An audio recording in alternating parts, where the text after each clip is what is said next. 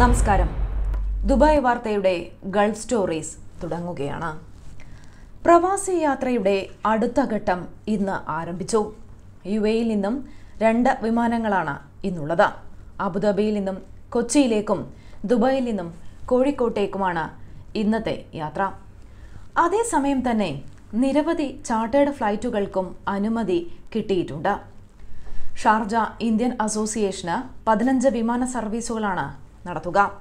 Abu Dhabi K M C സിയുടെ നാൽപ്പത് വിമാനങ്ങൾക്ക് കൂടാതെ Dubai K M C C INCAS I C F Pravasi India എന്നീ സംഘടനകളും ചാർട്ടേഡ് വിമാന സർവീസ് നടത്തുന്നുണ്ട്. അബുദാബി കെ എം സി സിയുടെ ആദ്യ ചാർട്ടേഡ് വിമാനം പതിനൊന്നിനാണ്. ആയിരം ദർഹത്തിൽ താഴെ നിരക്കിൽ സർവീസ് നടത്താനാണ് ലക്ഷ്യമിടുന്നത്. പതിനഞ്ചോളം വിമാനങ്ങൾ ഈ മാസം തന്നെ കേരളത്തിലെ വിവിധ വിമാനത്താവളങ്ങളിലേക്ക് പ്രവാസികളെയും കൊണ്ട് പറക്കും. ചാർട്ടേഡ് വിമാനങ്ങളിൽ ടിക്കറ്റ് തരപ്പെടുത്തി തരാമെന്ന് പറഞ്ഞ് പണം തട്ടുന്നതായി വ്യാപക പരാതി.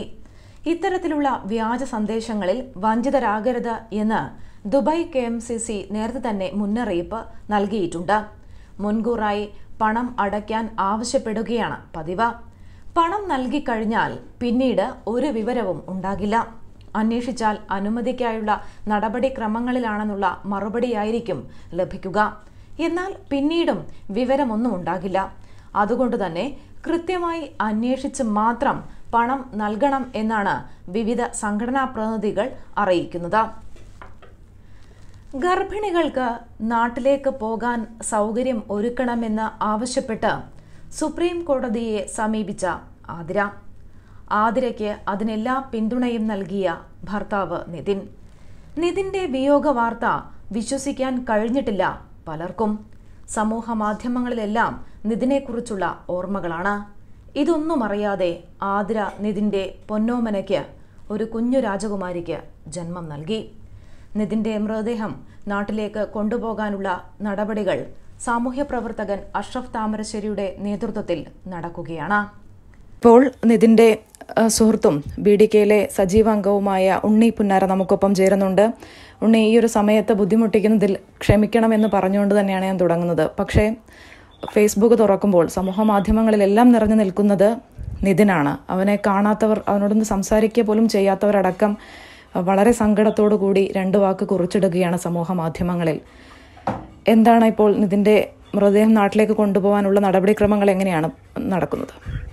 തീർച്ചയായിട്ടും അതിന്റെ നടപടിക്രമങ്ങളായിട്ട് നമ്മൾ അഷ്റഫ് താമരശ്ശേരി ഉൾപ്പെടെയുള്ള റിയാസ്ക ഉൾപ്പെടെയുള്ള എല്ലാവരും അതിന്റെ മുന്നിലുണ്ട് അതിന്റെ കാര്യങ്ങളായിട്ട് മുന്നോട്ട് പോയി- പോയിക്കൊണ്ടിരിക്കുന്നുണ്ട്. കുറച്ച് ഡോക്യുമെന്റ്സും കൂടി ഇവിടുന്ന് റെഡി ആവാനുണ്ട്. അപ്പൊ കൂടി റെഡി ആയി കഴിഞ്ഞാൽ എത്രയും പെട്ടെന്ന് തന്നെ കൊണ്ടുപോകാനാണ് നമ്മൾ ശ്രമിക്കുന്നത്. വളരെ സജീവമായിട്ടുള്ള ഒരു അംഗമായിരുന്നു നിതിൻ. എങ്ങനെയാണ് ഈ ഒരു അവസരത്തിൽ? ആത്മസുഹൃത്താണെന്നറിയാം. ഇങ്ങനെ ഒരു അവസരം അങ്ങനെ ചോദിക്കുന്നതിൽ എനിക്കും ബുദ്ധിമുട്ടുണ്ട്. കാരണം ഇന്നലെ വരെ നമ്മോടൊപ്പം ഉണ്ടായിരുന്ന ഒരാളാണ്. എങ്കിൽ തന്നെയും ഈ ഒരു സമയത്ത് എങ്ങനെയാണ് ഇതിനെ ഓർക്കുന്നത്? ഒരു- സഹപ്രവർത്തകൻ എന്നുള്ളതിനുപരി എനിക്ക് എനിക്കൊരു അനിയനെയാണ് നഷ്ടമായത് അത്രയും അത്രയും അടുപ്പാണ്. മനസ്സിലായിട്ട് അത്രയും അടുപ്പുള്ള ഒരു ഒരു ഒരു അനിയൻ തന്നെയായിരുന്നു എനിക്ക്. പിന്നെ അവനെ കുറിച്ച് പ്രത്യേകിച്ച് പറയാനുള്ളത് എന്താ വെച്ച് കഴിഞ്ഞാൽ എല്ലാവരും സംഘടനകൾക്കുള്ളിൽ നിന്ന് നിന്ന് പ്രവർത്തിക്കുമ്പോൾ അവൻ ചെയ്തൊരു ഒരു വേറിട്ട ഒരു കാര്യം എന്ന് പറയുന്നത് നാട്ടിലെ നാട്ടിലെ ഇവിടുത്തെ എല്ലാ സംഘടനകളിലും പെട്ട ബ്ലഡ് വളണ്ടിയേഴ്സിനെ എല്ലാവരും ഒത്തുകൂട്ടി എല്ലാവരും ഒരുമിച്ച് കൂട്ടിയിട്ട് ഒരു ഗ്രൂപ്പ് ആക്കിയിട്ട് ഇപ്പൊ ലോകത്തിൽ എവിടെ ഒരു ബ്ലഡിന് ആവശ്യം വന്നാലും മിനിറ്റുകൾക്കുള്ളിൽ അത് അറേഞ്ച് ചെയ്ത് കൊടുക്കാൻ പറ്റുന്ന രീതിയിൽ അങ്ങനെ ഒരു അങ്ങനെ ഒരു സംവിധാനം കൂടിയാണ് ചെയ്തു വെച്ചിട്ടുണ്ട് എന്തായാലും നിതിൻ ഇവിടെ നിന്ന് പോയാലും നിതിന്റെ നന്മകൾ എന്തായാലും ആ ഗ്രൂപ്പിലൂടെ തുടരും എന്ന് നമുക്ക് ആശ്വസിക്കാം.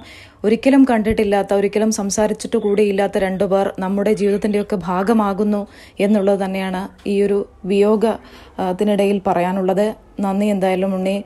നടപടികൾ പൂർത്തിയാക്കി എത്രയും പെട്ടെന്ന് പ്രിയപ്പെട്ടവരുടെ അരികിലേക്ക് നിതിനെ യാത്രയാക്കാൻ സാധിക്കട്ടെ എന്ന് മാത്രമാണ് ഈ ഒരു അവസരത്തിൽ പറയാനുള്ളത്. നന്ദി.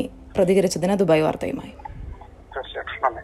മറ്റു ചില വാർത്തകളിലേക്ക് കൂടി കടക്കുകയാണ്. അബുദാബിയിൽ യാത്രാ നിയന്ത്രണങ്ങൾ ഒരാഴ്ചത്തേക്ക് കൂടി നീട്ടി. ഇന്ന് മുതൽ ഒരാഴ്ചത്തേക്കാണ് നീട്ടിയിട്ടുള്ളത്. ജൂൺ രണ്ട് മുതലാണ് അബുദാബിയിൽ മറ്റ് എമിറേറ്റുകളിലേക്കും എമിറേറ്റിലെ തന്നെ നഗരങ്ങളിലേക്കുമുള്ള യാത്രാ നിയന്ത്രണം വന്നത്. യു എ സ്വദേശികൾക്കും വിദേശികൾക്കും ഉൾപ്പെടെയുള്ളവർക്കെല്ലാം നിയന്ത്രണം ബാധകമാണ്. അബുദാബി പോലീസിന്റെ പ്രത്യേക അനുമതി നേടിയവർക്ക് മാത്രമേ ഈ കാലയളവിൽ യാത്ര അനുവദിക്കൂ. അവശ്യമേഖലയിൽ ജോലി ചെയ്യുന്നവർക്കും രോഗികൾക്കും ഇളവ് നൽകുന്നുണ്ട്. യു എയിൽ ഉന്നത വിദ്യാഭ്യാസം ആഗ്രഹിക്കുന്നവർക്ക് വഴികൾ തുറക്കുകയാണ്. കനേഡിയൻ ഉന്നത വിദ്യാഭ്യാസത്തിന് മുപ്പത് ശതമാനം മുതൽ അറുപത് ശതമാനം വരെ ഫീസ് ഡിസ്കൗണ്ട് പ്രഖ്യാപിച്ചിട്ടുണ്ട്. അഡ്മിഷൻ തുടരുകയാണ്. വിവരങ്ങൾ zero four three two one nine zero nine zero എന്ന നമ്പറിൽ ലഭ്യമാണ്. യു എയിൽ ഇന്ന് ചൂട് കൂടുതൽ അനുഭവപ്പെടും എന്നാണ് കാലാവസ്ഥാ നിരീക്ഷണ കേന്ദ്രം വ്യക്തമാക്കുന്നത്.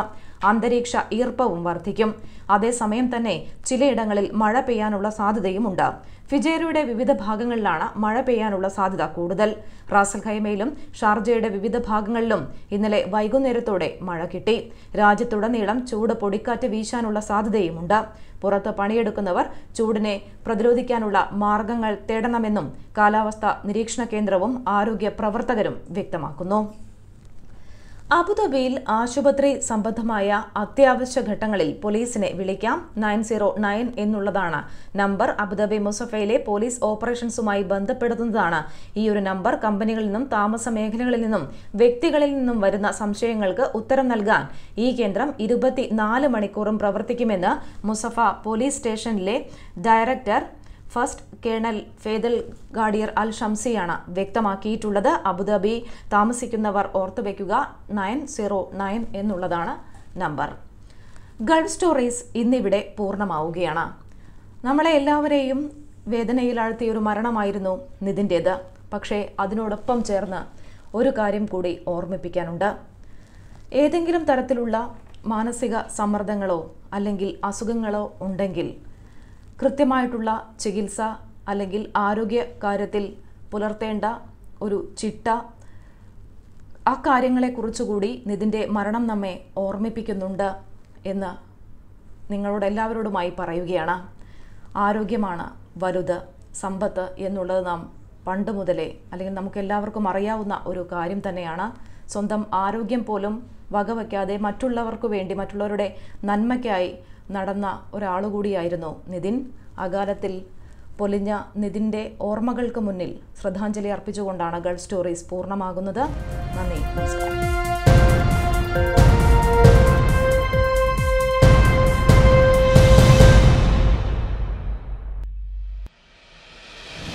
During this difficult time, we at Canadian University Dubai are thinking heavily about our responsibility as an educator. We are thinking about the impact on our students and members near and far, and on our role to help navigate and rise above this impact. We are compelled to look for ways to be flexible in our part to encourage your educational goals. We have taken steps to stay in touch, and in listening to your stories, we understand the potential for COVID 19 to have a financial impact. We hear you when you say you want to stay on track, and we would like to help you do that where we can.